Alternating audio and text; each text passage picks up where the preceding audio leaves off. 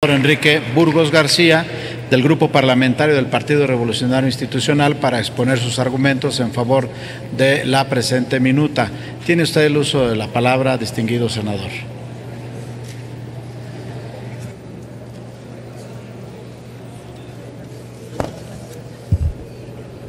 Con su anuencia, señor presidente, muchas gracias.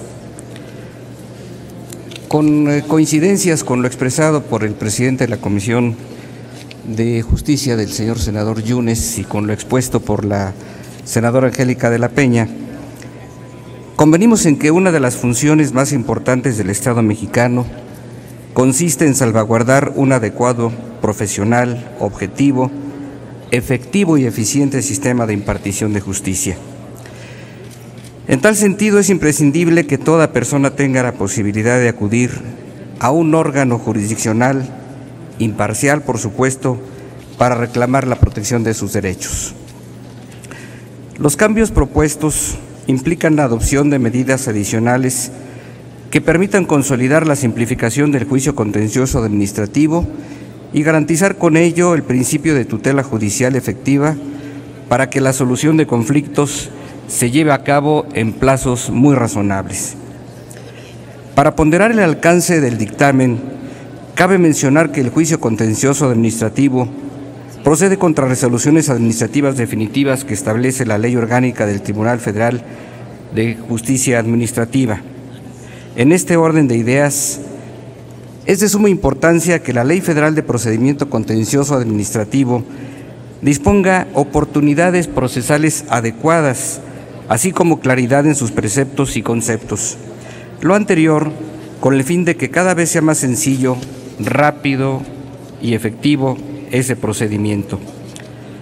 Como se refirió en la presentación del dictamen, las reformas planteadas buscan dar respuesta al constante incremento de la competencia material que ha adquirido el ahora Tribunal Federal de Justicia Administrativa durante los últimos años.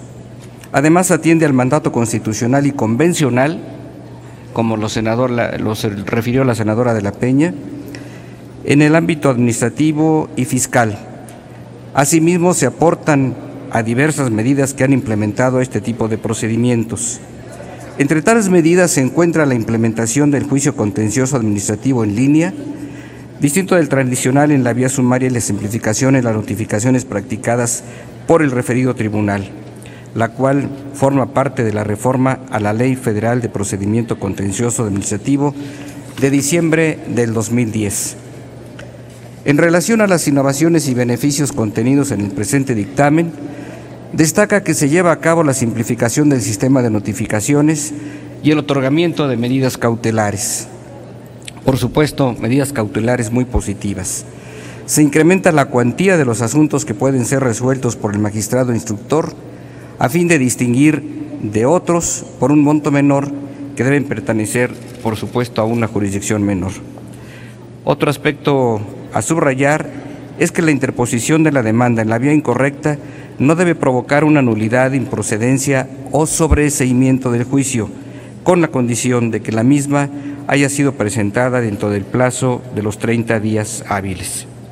Estos son algunos de los muchos avances contenidos en el dictamen y por ello es importante aprobar el contenido de, de este dictamen en comento. Es de significada importancia que en nuestro país existan las condiciones idóneas para que sea posible una justicia pronta, moderna, expedita, y es ahí donde radica el valor del asunto a discusión.